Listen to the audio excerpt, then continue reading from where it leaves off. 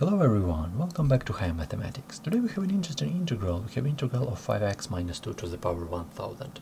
And on the first side, this integral is unreal, so we cannot like solve it easily. We cannot find this integral in our table because we have a huge, huge power. We have a huge power right here, 1000. So how can we solve this integral? I want to show you a really good, the best method how to solve it, so you can solve this type of integral in in two minutes. So let's do this. First of all, we need to substitute this expression in our parentheses.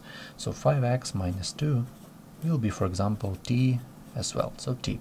But if we work with t, we need to change, or right here we need dx.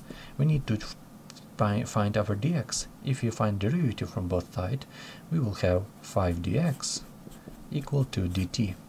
And if we divide in both sides by 5, we will have the dx equal to dt over 5. So we have our substitution. We find all elements that we need to our substitution. So let's substitute it. We will have that integral, this one, will be equal to 5x minus 2 equal to t. So we will have t to the power 1000 and dx equal to dt over 5. dt over 5.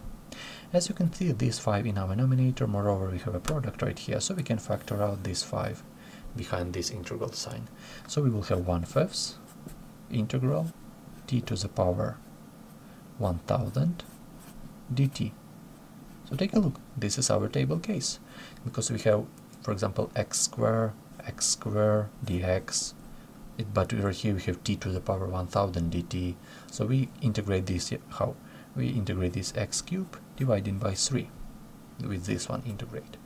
How can we integrate this? Of course the same, we will have 1 fifth, a constant will be 1 over 1001 and times t to power 1001 and plus c.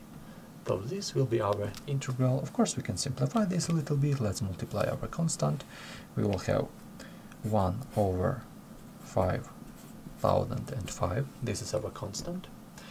And we have t to the power 1001 and plus c and the last step as you can see we have t but we work with x in the beginning so we need to change it using our x using our substitution. So 5x minus 2 equal to t then we need to change this t by this 5x minus 2 we will have our final answer 1 dividing by 5005 and in parentheses we will have 5x minus 2 to power 1001 and plus c.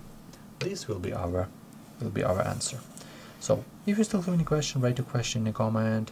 If you're interested in derivative, of course, you can find derivative of this expression and you will have the same as right here. So your, your question is to find derivative and write your write your thought about this in a comment. This is correct or not correct. So find derivative of this and write that this will be the same as right here. But if you still have any question, write a question in a comment.